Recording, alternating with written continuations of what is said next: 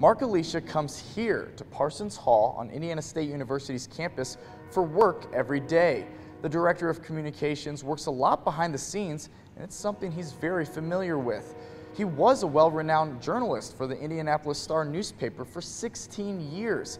It was there that he and two other journalists were responsible for breaking the story of Dr. Larry Nassar.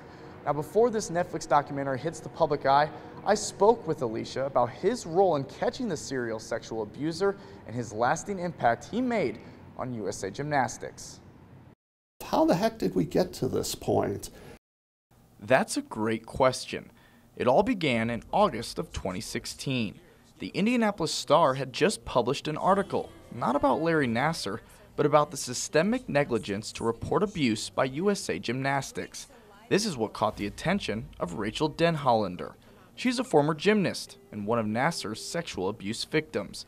She decided to reach out to Alesia and two others at the Indy Star to tell her story. Then, two more young women came forward with their stories of Nassar USA Gymnastics, and sexual abuse.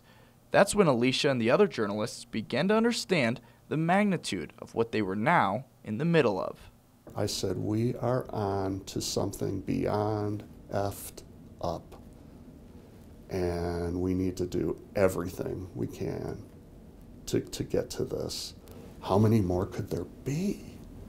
And, uh, and then, then we found out women began coming out of the woodwork, detailing their stories of sexual abuse at the hands of Nassar. Alesia told me this established a pattern of abuse, but it also gave him confidence to continue pursuing this bombshell of a story. Alesia says the Indy Star received a lot of pushback from USA Gymnastics lawyers saying they were slandering a quote, great man's name. But Alesia says they took their time, covered all their bases, and used the survivor's courage as motivation.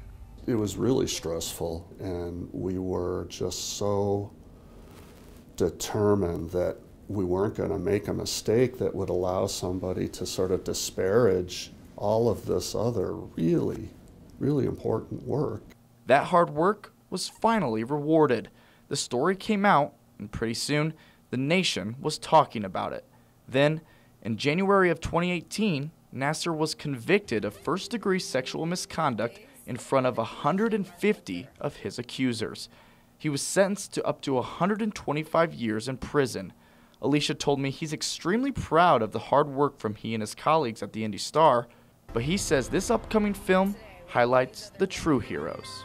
The greatest part of the story is the, the way the survivors are documented. Rachel's heroism, um, the bond these women had, and the utter determination they had to make sure that this guy, Nassar, went to jail, and not just that, but other people would feel better about coming forward uh, about their own sexual abuse.